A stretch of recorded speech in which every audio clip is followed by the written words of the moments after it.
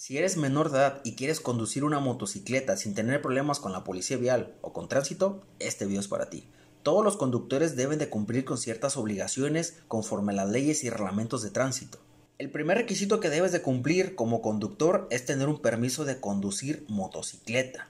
En algunos estados de la República Mexicana es válido, en algunos otros no. Posiblemente pregunten por qué no. Es por el motivo de la prevención de accidentes.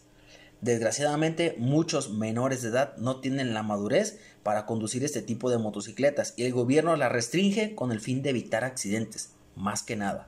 Pero si en tu estado sí permiten los permisos de conducir para menores de edad en motocicletas, adelante, tramítalo.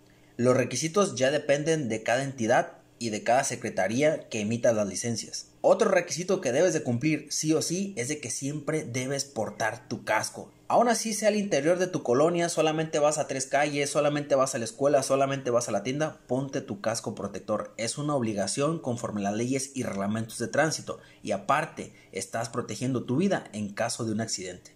Otro requisito muy indispensable es de que la motocicleta que conduzcas sea de baja cilindrada y también tenga su placa y tarjeta de circulación. Al momento de utilizar una motocicleta siempre conduce con luces encendidas, esto con el fin de ser más visibles para los demás conductores. Y también utiliza tus direccionales, puesto que no están de adorno. Otro requisito que debes de respetar en todo momento son los límites de velocidad.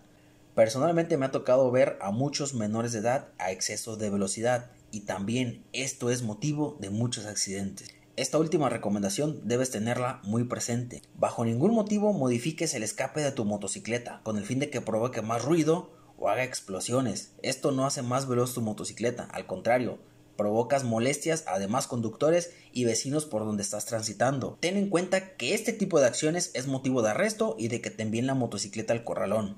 Te invito a que tomes en cuenta estos consejos que te doy si eres menor de edad, con el fin de que no te manden tu vehículo al corralón y en su defecto evites accidentes. Si les gustó este video, los invito a que me dejen su like, su comentario y que compartan. También los invito a que me sigan en mis redes sociales que les dejo por aquí.